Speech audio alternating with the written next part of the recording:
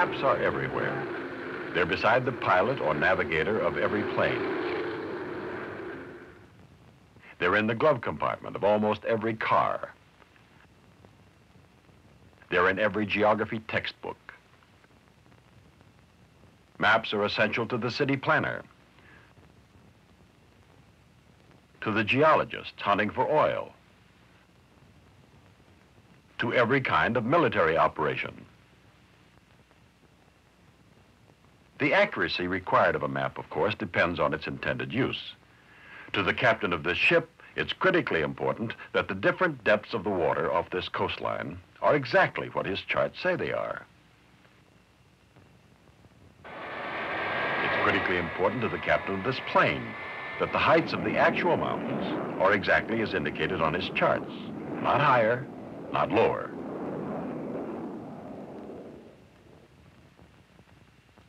Even in the construction of a building, it is important that it be located properly, not 10 feet to the west in violation of the building code or even on someone else's property. Accurate maps are important. But who actually makes them? And how are they made? Here's one man involved in one part of map making. Here's another. They both work for the United States Geological Survey and are quite literally measuring the surface of the Earth. Each new measurement they make begins at some point whose location has already been accurately established and marked on the Earth's surface with concrete and metal. The surveyor centers his instrument precisely over one of these known marks.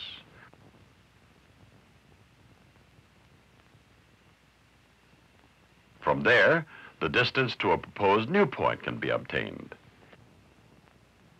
It can be measured physically with a special metal tape, or it can be measured electronically a newer, faster, more accurate way to measure distances. This particular system, for example, directs a high-frequency radio signal to a reflecting unit.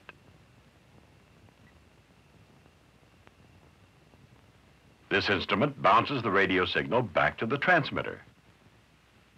Extremely sensitive equipment in the transmitter measures the time it takes the radio signal to make this round trip. Suppose it takes one ten-thousandth of a second to go and return. We know precisely how fast radio waves travel. We'll round it off to 186,000 miles per second for this example. Now the exact round-trip distance between the two devices can be calculated. 18 and 6 tenths miles. 9 and 3 tenths miles, just half of that, is the one-way distance. Now, by changing instruments, we can use this measurement between points A and B to locate a third point, say point C. Standing at point A, the surveyor uses a theodolite, a sort of protractor with a telescope. He first measures the angle at A between his baseline and a line running to the new point at C. When his instrument is sighted precisely on the rod there, he knows angle A. The same thing is done from the other end of the baseline at point B. The surveyor accurately measures the angle there between the baseline and another line running to the new point at C. Again, he sights carefully on the rodman still at point C. Now, knowing the length of one side of a triangle and the two adjacent angles, the distances to point C can be precisely calculated. This method is called triangulation. And each side of the triangle formed by these three points can now be used as a base to locate still more points. Triangulation can be repeated until the area to be mapped is dotted with control points. That is, points whose horizontal location relative to one another are accurately known. In practice, of course, it isn't always simple to do this. In flat country, for example, where there are no natural high points or tall buildings, surveying teams must provide their own high points.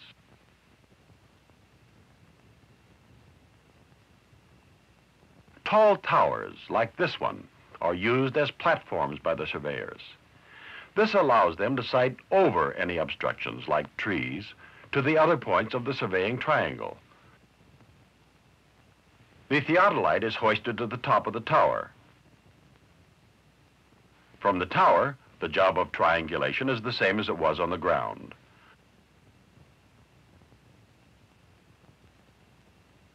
The surveyor carefully measures the needed angles.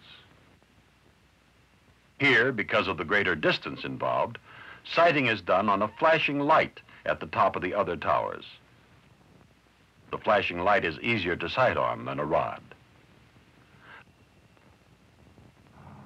A still newer technique uses a helicopter instead of a tower.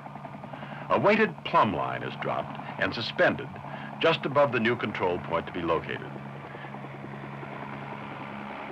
The helicopter is kept hovering precisely over this point, and the flashing beacon on top of it is in effect the top of a very tall rod. The direction and distance to this light is measured in the same way as if it were a rod, and its exact position is determined by triangulation. But more than horizontal points must be located to make an accurate map. The different heights of our Earth's surface must also be measured and recorded. And so a network of vertical check or control points is needed. These vertical control points are located in much the same way as the horizontal ones, beginning at sea level, zero elevation, the point where the land first rises from the sea.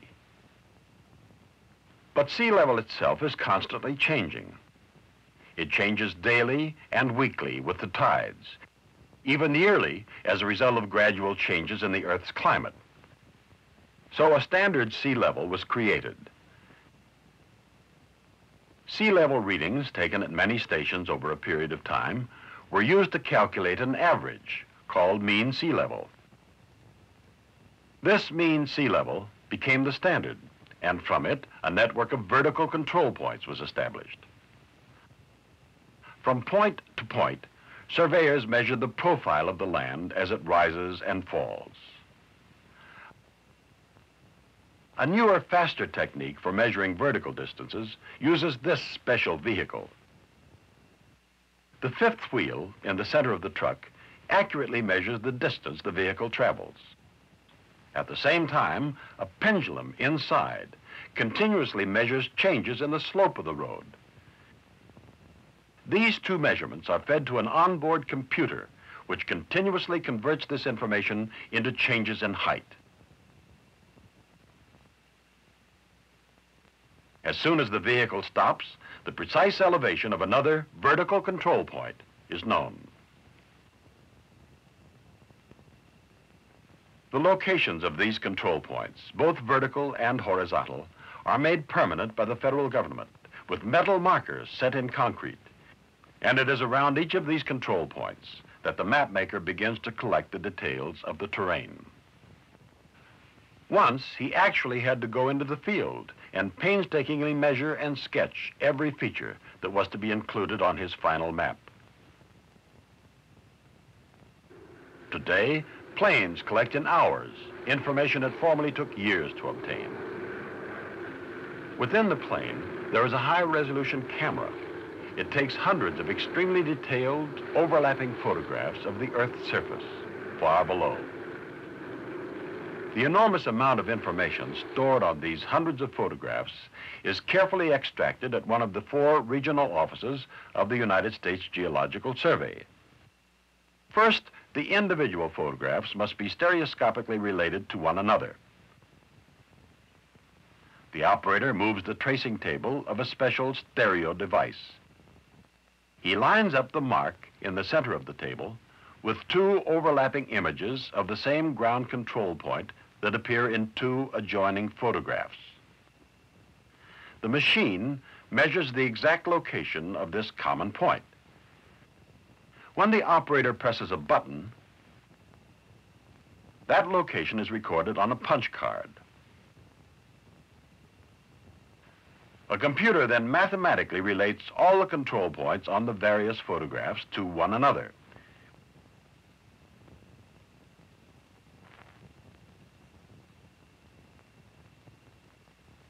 When this is done, The framework of these control points is transferred to the beginning map manuscript. With the photographs matched to one another, the detailed information that they contain can now be traced from them.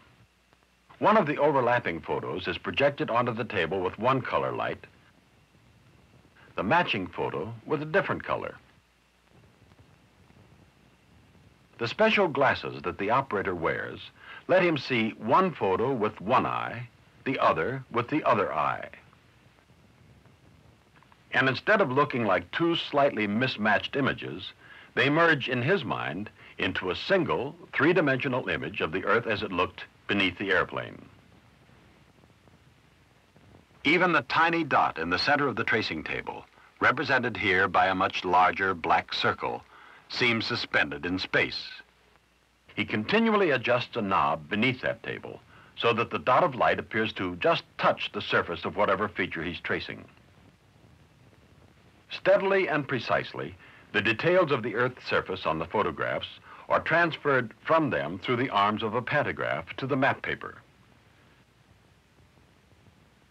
To show changes in height, the same instrument is used.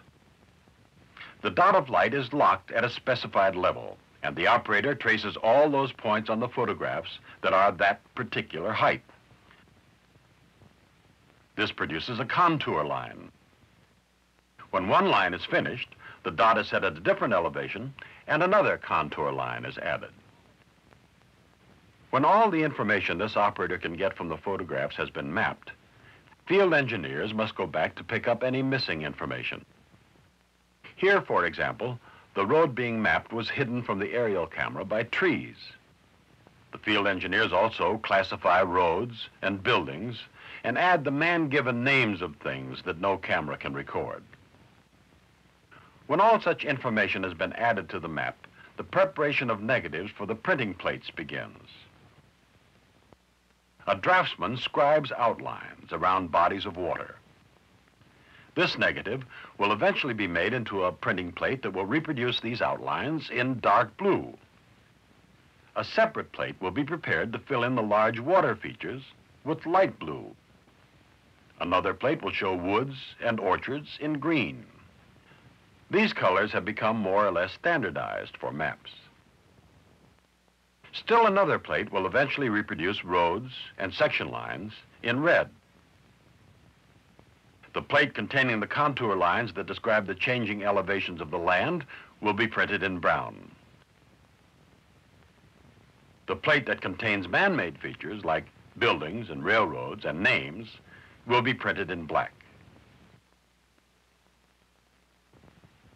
When all the negatives for these government maps are completed, they go to Washington, D.C., where the plates are prepared and the maps printed.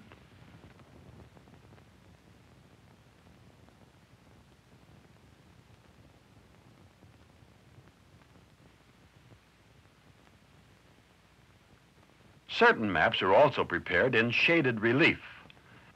An artist adds shadows and highlights to the sides of hills and mountains. This makes the relief features of an ordinary topographic map easier for the unskilled map reader to understand. Carrying this idea even further, some maps may be prepared in actual three-dimensional relief. To do this, a model is first made by routing out, layer by layer, exact duplicates of the contour lines. Using the contour levels as the basic relief, a realistic model of the Earth's surface is prepared.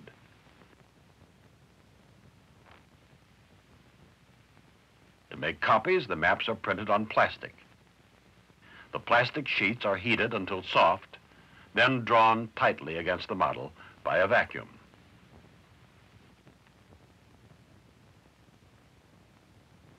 But even while maps of the Earth's surface are being made, the Earth's surface itself is changing. The forces of nature and the forces of men combine to change the details of the surface.